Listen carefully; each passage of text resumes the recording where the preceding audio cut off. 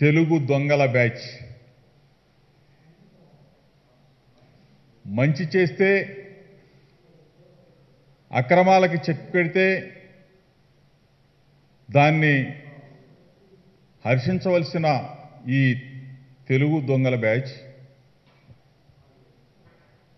తన తాము చేసిన అవినీతికి చెక్ పెట్టామని తాము చేసిన అక్రమాలకి చెక్ పెట్టామని తాము అక్రమ కట్టడంలో అక్రమంగా అక్కడి నుంచి అక్రమాలు చేస్తున్న ఒక వేదికకి చెక్ పెట్టామని చెప్పేసి ఈరోజు ఆ ప్రజావేదిక దగ్గరికి వెళ్తున్నామని చెప్పి వెళ్ళి అక్కడేదో ప్రజావేదిక కూల్చివేసి సంవత్సరం అయింది అక్కడికి వెళ్ళి సంతాప సభ పెడతామని చెప్పేసి బయలుదేరిన ఈ ఎల్లో గ్యాంగ్ పచ్చ గ్యాంగ్ అని అడుగుతా ఉన్నా. ఈ ఎల్లో గ్యాంగ్ పచ్చ గ్యాంగ్ ఏం జరిగిపోయిందని చెప్పేసి మీరు సంతాప సభ పెట్టడానికి అక్కడికి వెళ్ళారు? ఈరోజు మీ అవినీతి పరిపాలనకి ఏడాదైన సందర్భంగా మీ అవినీతి పరిపాలనని అంతం చేసి ఏడాదైన సందర్భంగా సంతాప సభ పెడతానికి మీ అక్రమాలకి చమరగీతం పాడి ఏడాదైన సందర్భంగా మీరు అక్కడికి వెళ్ళి సంతాప సభ పెట్టడానికి వెళ్ళారా? ఒక అక్రమ కట్టడంలో కూర్చొని మీరు చేసిన అవినీతిని అంతం చేశామని చెప్పేసి అక్కడికి వెళ్ళి సంతాప సభ పెట్టడానికి వెళ్ళారా?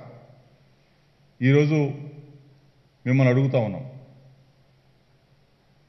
కరోనా సమయంలో నిబంధనలు ఉల్లంఘించి ఈ ఎల్లో గ్యాంగ్ అంతా కూడా ఎల్లో మీడియాలో కనపడాలి అన్న ఉత్సాహం తప్ప ఆతృత తప్ప మీకు ఈ రాష్ట్ర ప్రజల మీద ప్రేమ ఏమైనా ఉందా అని చెప్పేసి అడుగుతూ ఉన్నాం. చంద్రబాబు నాయుడు గారు మీరు ట్విట్టర్లో విధ్వంసానికి ఏడాదని చెప్పేసి ఒక పోస్ట్ పెట్టారు. రాష్ట్ర ప్రజలు అనుకుంటా ఉన్నారు. చంద్రబాబు నాయుడు అవినీతి అక్రమాలకి చెక్ పెట్టి ఏడాది అయిందని చెప్పేసి సంబరాలు చేసుకుంటా ఉన్నారు. జగన్మోహన్ రెడ్డి గారు ముఖ్యమంత్రి అయి అభివృద్ధి సంక్షేమ ఫలాలు మాకు ఇచ్చాడని చెప్పేసి సంబరాలు చేసుకుంటా ఉన్నాడు.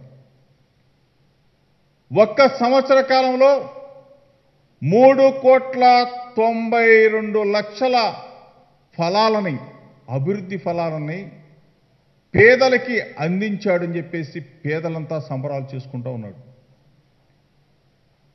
పేదలకి నేరుగా వాళ్ళ బ్యాంకు ఖాతాల్లోకి ఒక్క సంవత్సర కాలంలో నలభై మూడు వేల కోట్ల రూపాయలని పేదల బ్యాంకు ఖాతాల్లోకి పంపిస్తే పేదలంతా సంబరాలు చేసుకుంటా ఉన్నారు. దేనికి మీరు ఈ రోజున విధ్వంసానికి ఏడాదని చెప్పేసి పోస్ట్ పెట్టారో నారా చంద్రబాబు నాయుడు గారు సమాధానం చెప్పాలి. మీ అవినీతికి చెక్ పెట్టి సంవత్సరం అయిందా? మీ అక్రమాలకి చెక్ పెట్టి సంవత్సరం అయిందా? మీ అరాచకాలు మీ దోపిడీకి మీ వెన్నుపోటు రాజకీయానికి చెక్ పెట్టి సంవత్సరం అయిందా? ఇది కావాలి. ఈరోజు ప్రజలు ఎంత సంతోషంగా ఉన్నారు. ఈ రోజున ప్రజలు ప్రపంచంలో కరోనాతో అల్లాడుతున్న మన రాష్ట్రంలో మన ముఖ్యమంత్రి వైఎస్ జగన్మోహన్ రెడ్డి గారు మా పట్ల చూపిస్తున్న ప్రేమాభిమానాలకి ప్రజలంతా కూడా చిత్తశుద్ధితో జగన్మోహన్ రెడ్డి గారిని అభినందిస్తూ ఉన్నారు కీర్తిస్తూ ఉన్నారు. వేనేళ్ళ జేజేలు పలుకుతూ ఉన్నారు. ఈ పరిస్థితుల్లో ఈ ఎల్లో గ్యాంగ్ ఉదయం నుంచి రంకెలేస్తూ ఉన్నారు. బాగా మీడియా ముందుకు వచ్చేసి విధ్వంసం అంట. ఏం విధ్వంసం చేసామయ్యా ప్రజావేదిక దగ్గర సంతాప సంతాపం తెలియజేస్తారా?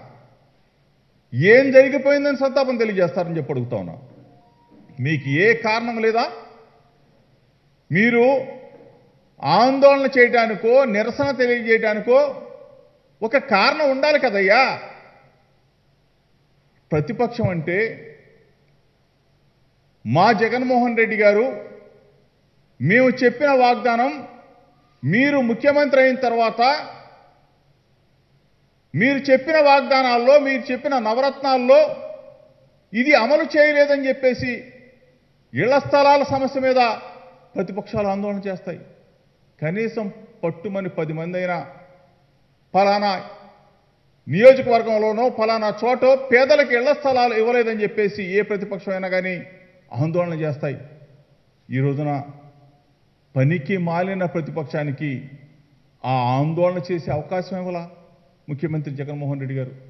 Hi, this is Trisha. I'm Radhika Apte. వస్తాను కృష్ణమూర్తి నేను ఆలీ మాట్లాడుతున్నాను You're watching E3 Media Network. E three media network E three media network E3 Media Network. E3 means entertainment entertainment, entertainment.